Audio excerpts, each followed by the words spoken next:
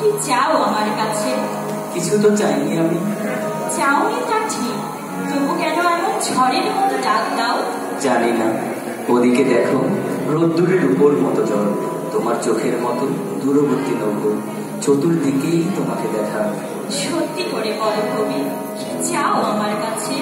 মনে হয় তুমি দেবী। আমি দেবী নই। তুমি তো জানো না তুমি কে। কি আমি? তুমি সরস্বতী। শব্দটির মূলর্থে যদিও মানবী তাই কাছাকাছি পাওয়া। মাঝে মাঝে নীরা নামে ডাকে। মনে ঠিক অনেকটা ঠিক যখন যা মনে আসে। কেন মনে আসে? কি চাও বলো তো সত্যি? কথা ঘুরিও না। আশীর্বাদ? আশীর্বাদ? আমার না সত্যি জেনে দেবী তুমি সেই। টেবিলের ওই পাশে ফিকে লাল শাড়ি আঙুলে গণতন্ত্রী উঠে এসো আশীর্বাদ দাও। মাথার উপরে রাখো হাত আশীর্বাদে আশীর্বাদে আমাকে পাগল করে তোলো। খিমচে ধরো তুল আমার কপাল নখ দিয়ে চিরে দাও।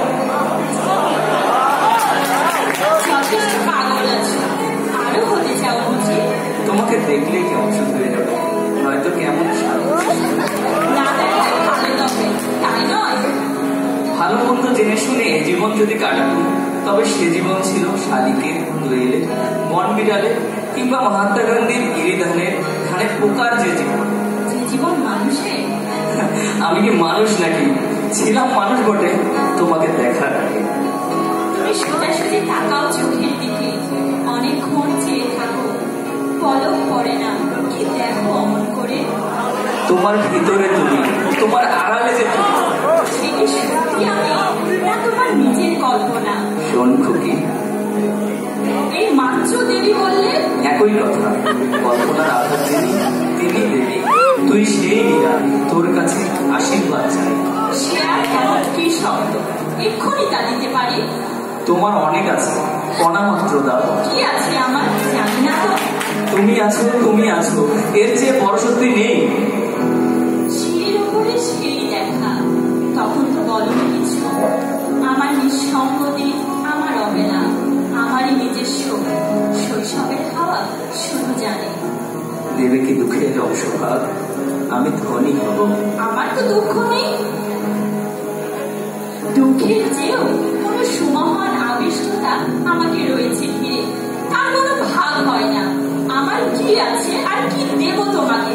তুমি আছো তুমি আছো। এর চেয়ে বড় সত্য নেই। তুমি দেবী ইচ্ছা হয় হাঁটু বেড়ে বসি মাথায় তোমার করতল আশীর্বাদ। তবু সেখানেও শেষ নেই কবি নয় মুহূর্তে পুরুষ হয়ে উঠি। কবে কাছে এসো তোমায় কি দিতে পারে। অভিমান? নাম দাও অভিমান। এটা কিন্তু বেশ।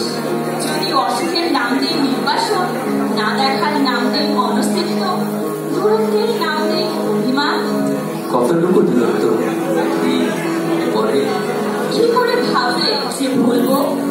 এই যে তুমি বসে আছো আঙুলে ছোঁয়ানো তুলতে ধরতে কপালে পড়েছে চূর্ণ চুল পাড়ের নকশায় থাকা পাল পুষ্টাগ্রে আসন্ন হাসি এই দৃশ্যে অমরত্ব। তুমি জানো না নীরা আমার মৃত্যুর পরও এই ছবি থেকে যাবে।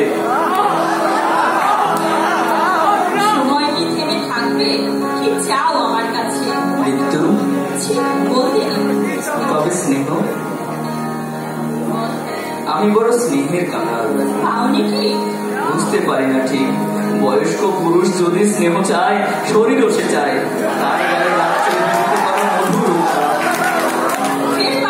দেখা দাও না। বলো না, কখনো বলো না ওই কথা। আমি ভয় পাবো। এ শুধু একদিকে। কে আমি? সামান্য, অতি নগণ্য কেউ না। তবু কেন এত অশ্রদ্ধা তোমার রূপের কাছে? কবে? থাকি মনে থাকে বারবার ভুলে যাই। অবুজ পুরুষ হয়ে কৃপা প্রার্থী। চাও আমার কাছে। কিছু নয় আমার চোখে যদি ধুলো পড়ে আচলের ভাব দিয়ে মুছে দেবে। সবাইকে